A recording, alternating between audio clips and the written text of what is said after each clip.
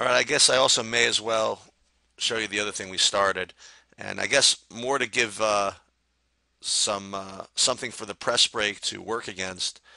I decided to start putting in a press. I was going to wait, but you know what? The kids seemed really into it during the game when I wanted them to get after it. So uh, I figured I might as well start.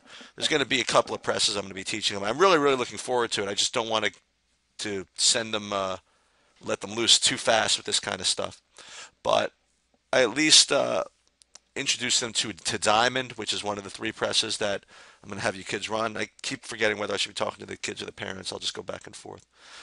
And the thing about pressing and the thing about trapping is that it, it you, you give them general principles about where to go and what to do.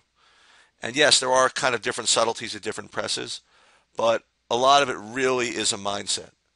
And a lot of it really is the commitment to, to get after it. Uh, even when we just started doing it, I had to, I had to yell at them to get it, yell at you kids to get in the press. Everybody wants to get back so so quickly, and I guess that's a kind of a good habit when you're not pressing. But when you're pressing, you really have to commit to it and to really really get after it and get into it. And and the ability to do that is far more important than to be able to to to do an effective trap with the with the completely perfect 100% fundamentals. But we are going to teach completely perfect 100% fundamentals as well. So I, I, taught a really, really, probably the simplest press to teach. Actually, uh, the other press might be just as easy. Is is diamond, and more important than anything is, is kind of just the setup, so that everybody just kind of knows where to go. And, I went over everybody's basic responsibilities. Essentially, the four man being just a complete lunatic, to be just all over the ball with with maybe like one inch of space between you know the baseline and him, and his entire job is to stop this kind of diagonal pass this way, okay, just to kind of angle and just do a lot of damage to this guy's life who's taking the ball out, and give the only option he's going to have is to throw the ball to this guy, and we're going to be able to get an immediate trap on him.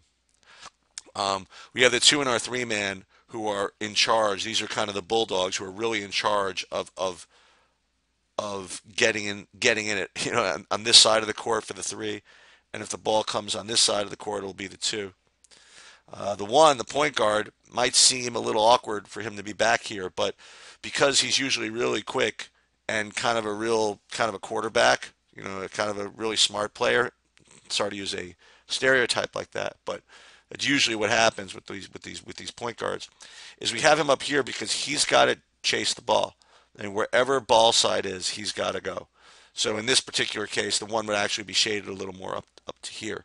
So he is going where where where the ball goes, uh, especially coming out of bounds. And the the five man is basically as deep as the deepest man.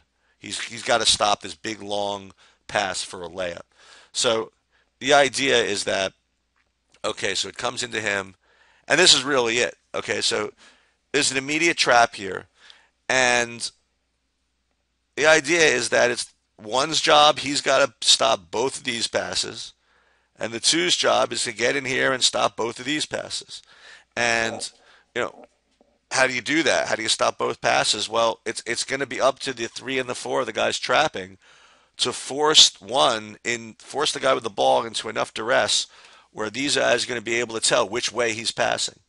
And we're going to drill that. We're going to talk about that. The idea that three and the four has got to force what's called an obvious pass. I mean, if you give him the, the, the chance of just looking up the court and kind of picking one of these, I mean, you're just going to get obliterated. Okay, he's got to trap. They got to trap with enough aggression such that these interceptors here will be able to see which way he's looking. So if you see him pivot towards the you know the immediate back pass, the two will cut that off. If you see him looking up the sideline, the one will cut that off. With these guys always looking for that kind of tough penetrating pass to the middle. So it's it's it's there's definitely there are nuances which we're going to go over, like what to do if he passes it back, and what to do if he hits this guy in the middle, and all that kind of stuff. But all we really went over is this basic alignment, and, and to tell them to just get after it, and to really anticipate and be aggressive. You know, we're going to go over more details as we go on, but I do want at least for the people who weren't there to show you what we at least started.